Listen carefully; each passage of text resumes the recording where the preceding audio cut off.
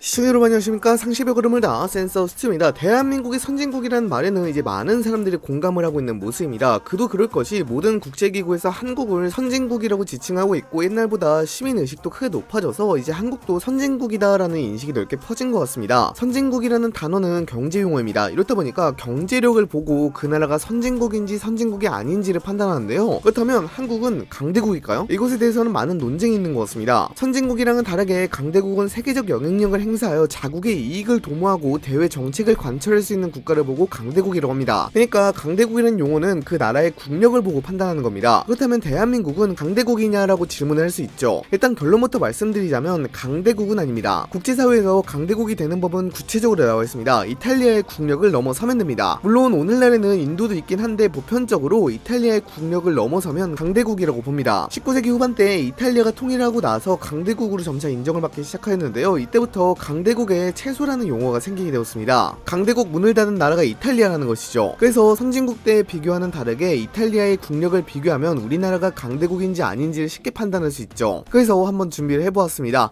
이탈리아와 국력을 한번 비교해보죠. 경제력부터 비교를 해봅시다. GDP와 1인당 GDP 인구수를 비교해보자고요. 우선 이탈리아의 GDP는 2021년 기준으로 2조 998억 달러로 세계 8위입니다. 한국은 GDP가 1조 8102억 달러로 세계 10위죠. 우선 GDP만 비교를 해보자면 한국은 이탈리아보다 GDP가 뒤떨어집니다. 2천억 달러 정도 차이가 나죠. 1인당 GDP를 비교하면 거의 비슷한데요. 이탈리아의 1인당 GDP는 2021년 기준으로 35,551달러로 세계 23위입니다. 대한민국의 경우에는 2021년 기준으로 34,983달러로 세계 24위죠. 거의 비슷하죠. 심지어 인구수를 보아도 비슷합니다. 이탈리아 인구수는 2023년 기준으로 5,887만 명 정도입니다. 한국은 2023년 기준으로 5,155만 명 정도죠. 경제력 부분을 보면 1인당 GDP와 인구수가 서로 비슷합니다. 하지만 전체적인 국가의 경제력은 이탈리아가 더 높은 수준인데요. 물론 과거부터 쌓은 부 덕분일 수도 있겠습니다만 이탈리아를 넘어서지는 못한 것 같습니다. 경제력만 보면 이탈리아보다 살짝 아래인 수준이에요. 거기다가 한국의 경우에는 초저출산 때문에 미래가 그리 밝지는 않은데요. 인구수가 이렇게 줄어들면 경제력도 크게 감소하기 때문에 이탈리아와의 국력 차이가 더 벌어질 수도 있습니다. 근데 재밌는 것은 이 경제력 분야에서 더 세분화해서 들어가게 되면 한국이 이기는 것이 많은데요. IMF에서 2022년에 발표한 자료를 보면 한국의 수출 점유율은 2.8%로 세계 6위이고요. 이탈리아는 2.7%로 세계 7위입니다. 또한 수입 점유율은 한국이 2.9%로 세계 8위이고 이탈리아는 2.7%로 세계 10위죠. OECD에서 발표한 GDP 대비 R&D 비중을 봐도 한국이 4.9% 수준으로 세계 2위, 이탈리아는 1.5%로 세계 27위를 기록하기로 하였습니다. 세계 지적재산기구에서 발표한 2022년 글로벌 혁신 지수는 한국의 세계 6위, 이탈리아는 세계 28위입니다. 즉 국가적인 차원에서의 경제력은 이탈리아가 앞선다곤 하지만 세부적이고 혁신 능력은 한국이 좋은 것으로 나왔습니다. 그렇다면 소프트 파워는 어느 정도일까요? 일단 한국은 이탈리아보다 전통적인 소프트 파워는 많이 밀리는 모습입니다. 이탈리아와 한국을 유네스코 세계 문화유산으로 비교를 해도 이탈리아는 53건의 문화유산을 보유하면서 세계에서 가장 많은 수의 문화유산을 보유하고 있지만 한국은 13개 정도만 있습니다. 이렇다 보니까 전통적인 소프트 파워는 많이 밀리는 모습인데요. 다만 현대 문화가 한국은 많이 발달해 있습니다. 당장 케이팝이나 한국 영화, 드라마는 세계적으로 큰 영향력을 발휘하고 있죠. 그렇기 때문에 소프트 파워를 비교하기에는 많이 어려운 측면이 있는데요. 여러 기관들이 소프트 파워를 조사한 것을 보면 어느 정도 이 정도쯤일 것이다 라고는 유추가 가능합니다. 영국 브랜드 파이낸스 컨설팅 업체에서 발표한 2022년 자료를 보면 소프트 파워 순위가 이탈리아는 54.7점으로 세계 10위이고 한국은 52.9점으로 세계 12위입니다.